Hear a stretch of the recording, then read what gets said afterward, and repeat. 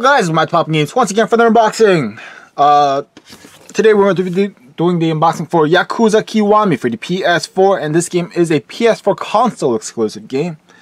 That's crazy. PS4 console. I think that's the first time I saw that. Um, so this game was rated M for mature 17 and over and it's also the Steelbook edition. In case you guys don't know, this is a remake of the first one, I believe, um, and developed published by Sega. So you got two Yakuza members over here. You got one female, young female character over here.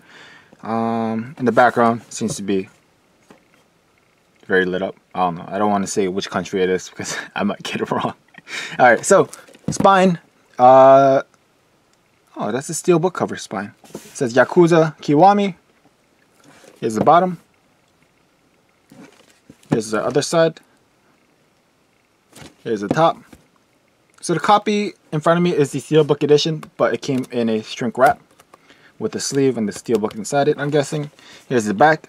From the back, they show you seven different scenes. I'll be reading for you guys while you guys take a look at the scenes. It says, The Dragon of Dojima is reborn.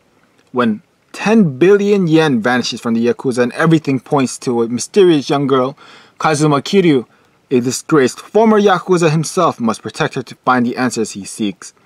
Now, under the first scene, it says, where temptation and danger collide. Batting cages, cabaret clubs, side stories, the story, the city of Kamurocho never sleeps. Unleash the dragon. Utilize four unique styles of combat you can change on the fly. Nishikiyama's plight.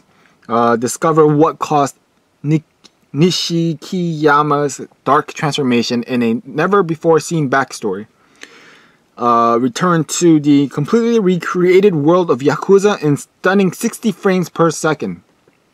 Nice. Uh, now, going straight on to the specs, it's going to be 1 to 2 players, 20 gigabyte minimum, PS4 remote play, and DualShock 4. Um, the reason why this game is rated M from mature 17 over is due to blood, intense violence, partial nudity, sexual themes, strong languages, and use of alcohol. Alright, so now let's pop this open and see what we get inside.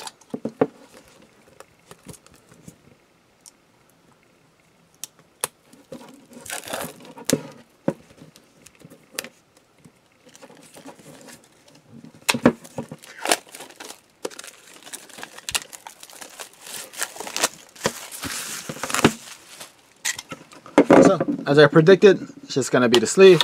There we go. Pop it out. Get a different cover art for the Steelbook edition. Spine. And the back. Nice. Dragon and Koi. Alright, now let's pop this open and see what we get inside. You get a piece of paper and you get the game disc. What's the piece of paper? If I could take it out. There we go. It's going to be a single pager. You get the warnings, uh, use on handling, notice, warning, handling, limited warranty, and use of unauthorized product. Flip it around, same thing. Uh, translate it.